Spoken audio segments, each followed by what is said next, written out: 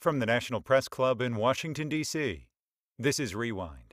This week, the Secretary of Health and Human Services promised the National Hispanic Council on Aging that the administration is dedicated to caring for seniors.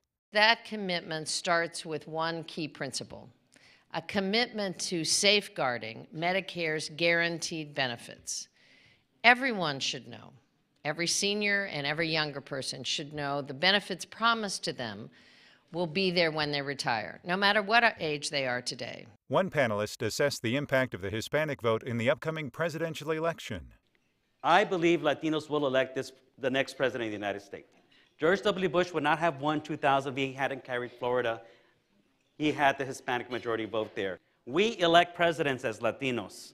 What we need to do next is hold the presidency accountable to us. But another council panelist detailed efforts to suppress Hispanic voters. The head of the, of the Republican legislature in Pennsylvania, he actually said, going down the list of the things that they put in place to make sure that Mitt Romney wins Pennsylvania, he talked about voter ID laws. He said voter ID law will ensure that Mitt Romney wins Pennsylvania. Check. I mean, that to me says it all in a nutshell about this, the, the Republican effort across the country to suppress the minority vote. At a news conference, the Syrian Expatriates Organization drew intense focus to the horrific violence being committed against Syrian women. We are failing the women and men of Syria every single day that we do nothing. The Syrian government must be on notice that every rape is now a war crime. There must be and there will be accountability. Syrian society has broken down to a point that is beyond imagination. And as a Syrian woman, I can also say beyond recognition.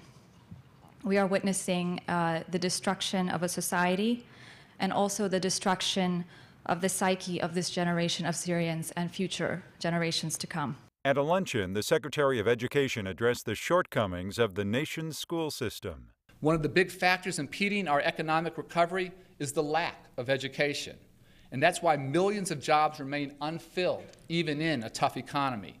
Some 90 million adults in America have basic or below basic literacy skills, and a quarter of our children never complete high school. Duncan is displeased with the media's failure to highlight efforts being made to improve education. This is tough, tough work, and again, the media hasn't covered enough because people aren't yelling and screaming at each other. The media loves controversy.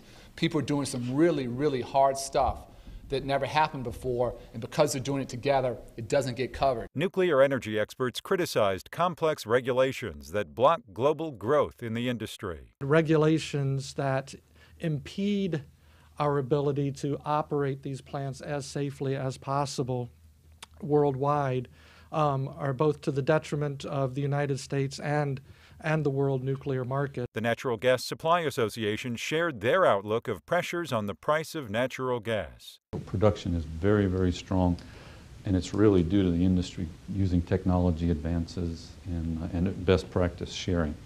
We're ready for the winter. We see no, no pressure either downward or upward. We're ready for, the, for winter to come. From the National Press Club, where news happens, this is Rewind. I'm Ken Gilio.